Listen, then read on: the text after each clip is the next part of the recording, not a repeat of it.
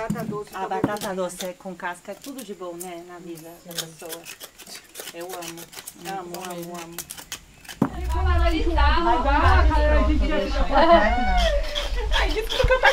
Aí quando você tiver chegada, fazer uns pratinhos bem legal, convida a gente pra almoçar.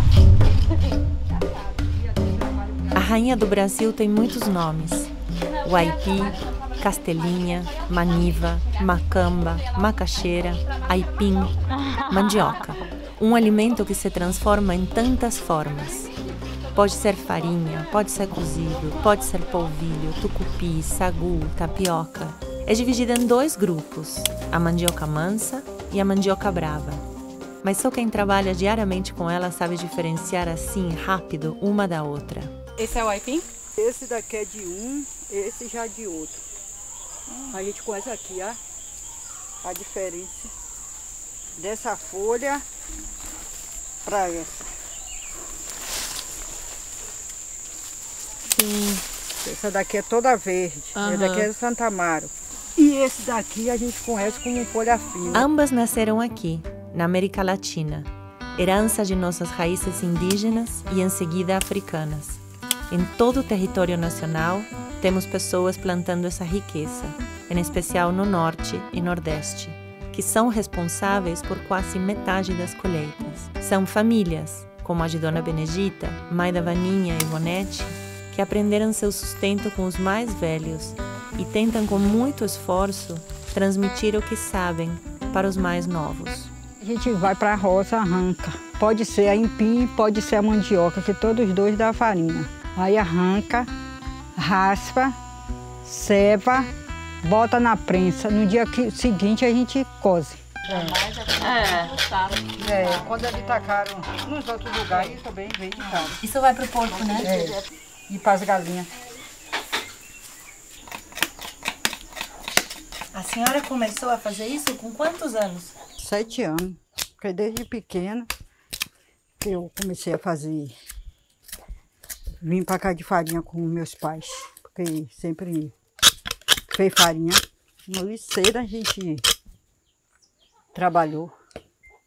Ah, então a farinha que vocês produzem aqui é copioba. É, porque a Porque gente não usa máquina. não usa máquina. É tudo feito manual. Para cozer, a gente cose manual com forno de barro, não usamos forno de ferro. Aí a gente fazemos pouco, até dois sacos. 80 litros, como a gente vende aqui a litro, e for pesar é 60 qui- quilos. O conhecimento sobre o cultivo da mandioca é essencial para a preservação da cultura alimentar ancestral brasileira. Mas a gente às vezes esquece que a alimentação também é cultura.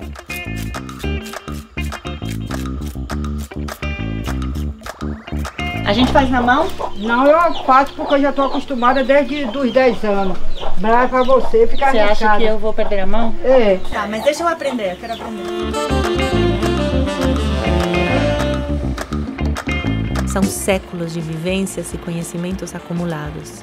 Repassar sabedorias da terra para as novas gerações ajuda a termos práticas menos ofensivas em relação ao espaço, mais qualidade, nutrição e saúde nos nossos pratos.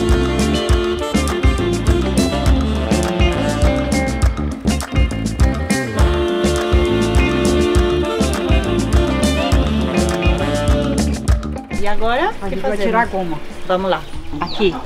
Quando um governo não incentiva a cultura do seu povo com políticas públicas efetivas, persistir nessa cultura se transforma em resistir. sai a água e amanhã a massa está enxuta. Aí volta a cevar a massa e fazer a farinha.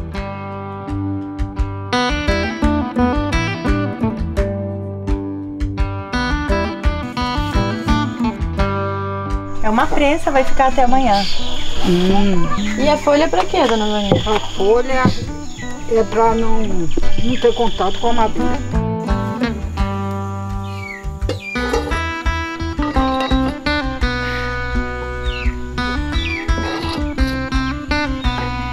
A gente coloca num dia, tira no outro. Porque se a gente coze no mesmo dia, ela fica adocicada. E no outro dia não a farinha já sai normal.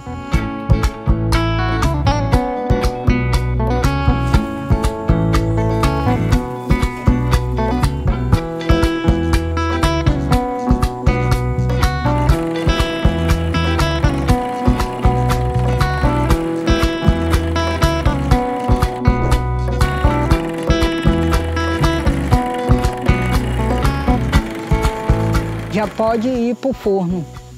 Ai. Aí o primeiro processo é zazar, que ela tá em... Para não dar muito caroço, a gente tem de usar mais as paetas. Depois de zazada, a gente vai torrar. Aí que dá o, o ponto final. E depois peneira. Peneira para tirar os grãos mais grossos. E tem os seus tempos, né? Vocês viram que a dona Vaninha falou quando a gente colheu a mandioca e descascou que não podia esperar com a mandioca descascada, tinha que passar pela, pelo motor na hora e pôr na prensa é, imediatamente.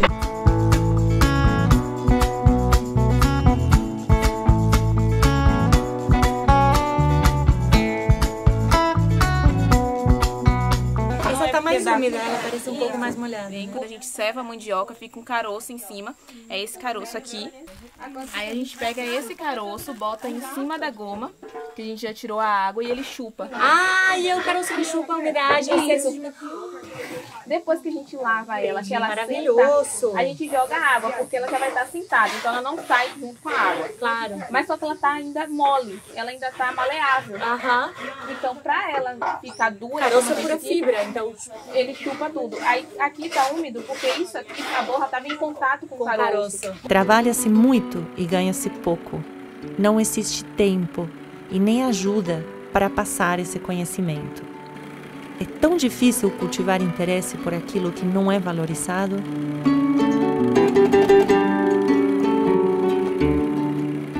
Para muitos jovens, a artificialidade das cidades e suas possíveis escolhas podem ser bem mais atraentes do que o árduo trabalho na roça.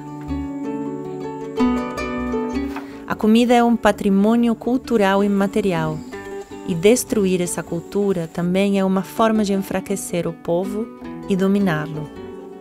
Não é à toa que vemos nosso solo ser sequestrado pelo monocultivo, ultraprocessados mais acessíveis que alimentos frescos, e agricultores familiares perdendo espaço e a fome aumentando. Um Brasil que produz muito, mas alimenta pouco, num mundo em que a produtividade da máquina vale mais que o cuidado da mão. E farinha normal não tem, né? Farinha, farinha não tem. Não, ela só é a massa, o coco a, o, o, o, sal, o açúcar, a manteiga e, e, o, a, a água do cravo erva doce que a gente cozinha. Chama, uhum. chama o quê? Um chá, né? Um tipo um chá.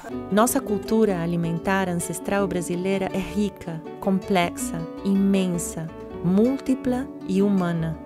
É nossa e depende de nós para continuar.